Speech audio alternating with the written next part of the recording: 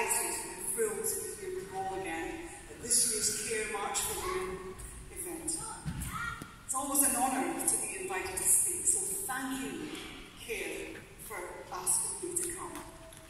When I speak, when we speak collectively, we are advocating for millions of girls and women, many of whom have no voice, platform.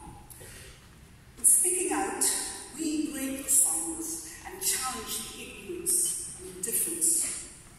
In speaking out, we raise awareness and make the unacceptable truth be known.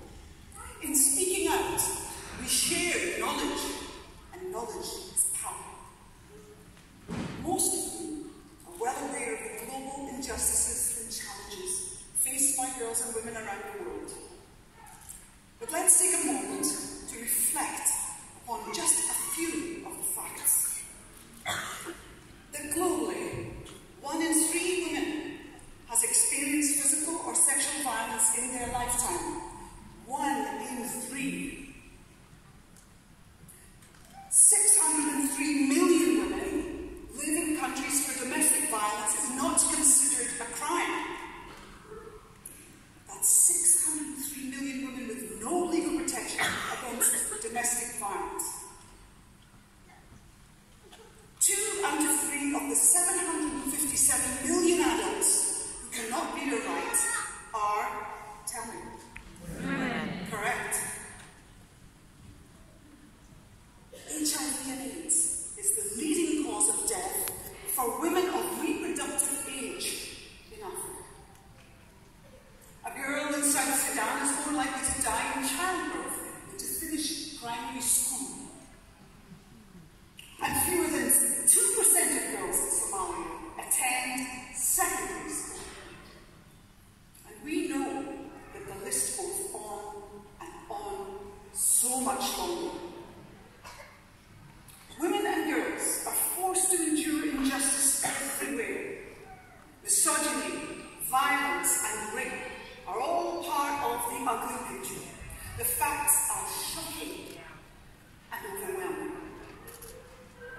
And in this age of information, we really should know that what's actually taking place in the world when it's come to the lack of feminist empowerment and all the reasons why we believe so passionately that these appalling facts must be changed.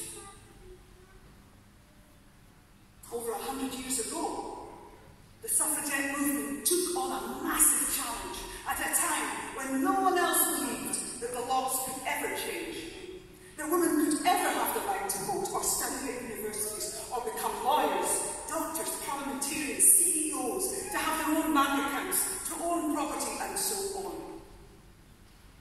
Nowadays, we take these things for granted. But we have inherited every one of our rights from the tremendous effort and sacrifice of the suffragette movement and all the subsequent wo- women's movements who have continued for decades to make change happen.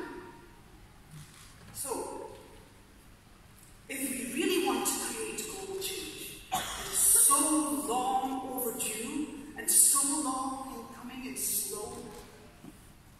It's absolutely essential to speak out, to make the truth be known, to advocate and take action. Only a few years ago, you know this, it's very challenging to use the word feminist without many people feeling uncomfortable about it. Hmm? But nowadays, feminism is everywhere. On the front covers of magazines and newspapers and on websites and social media. Use it. Use this word now. It's come out of the closet. A younger generation of women and men are now using the word feminist to describe their ethics and values. But this didn't just happen. This change is the result of so much collective work from the countless individuals and organizations, many of whom are